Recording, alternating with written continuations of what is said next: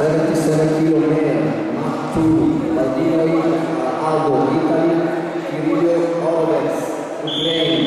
next fight, 92 kilo, male, Anisimov, India, Russia, Thomas Bruno,